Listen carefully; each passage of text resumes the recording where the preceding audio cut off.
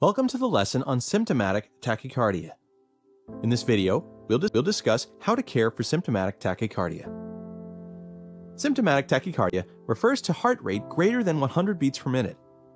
To provide care for symptomatic tachycardia, follow these steps. However, if at any point you become uncertain or uncomfortable during the treatment of a stable individual, seek expert consultation. The treatment of stable individuals can be potentially harmful also, keep in mind that adenosine may cause bronchospasms. Therefore, adenosine should be given with caution to patients with asthma. If the individual is unstable, provide immediate synchronized cardioversion. Check if the tachycardia is producing hemodynamic instability and serious symptoms. Check if the symptoms, such as pain and distress of an acute myocardial infarction, or AMI, are producing the tachycardia. Assess the individual's hemodynamic status by establishing an IV, giving supplementary oxygen, and monitoring the heart. Heart rate of 100 to 130 beats per minute is usually the result of underlying process and often represents sinus tachycardia, in which the goal is to identify and treat the underlying systemic cause. Heart rate greater than 150 beats per minute may be symptomatic.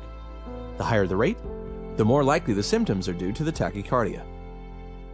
Assess the QRS complex, which includes regular narrow complex tachycardia, or probable SVT, irregular narrow complex tachycardia, or probable AFib, regular wide complex tachycardia, or probable VT, and irregular wide complex tachycardia.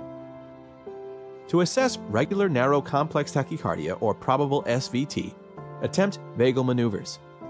Obtain 12 lead ECG and consider expert consultation. Administer 6 mg of adenosine via rapid IVP. If there's no conversion, give 12 mg IVP as a second dose. You may attempt 12 mg only once. To assess irregular narrow complex tachycardia or probable AFib, obtain 12 lead ECG and consider expert consultation.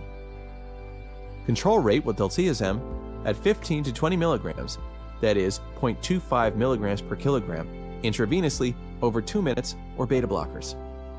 To assess regular wide complex tachycardia or probable VT, obtain 12 lead ECG and consider expert consultation. Convert rhythm using amiodarone 150 mg intravenously over 10 minutes and perform elective cardioversion. To assess irregular wide complex tachycardia, obtain 12 lead ECG and consider expert consultation. Consider antiarrhythmic if it's torsade de pointe, give magnesium sulfate 1 to 2 grams intravenously. You may follow with 0.5 to 1 gram over 60 minutes. This concludes our lesson on symptomatic tachycardia.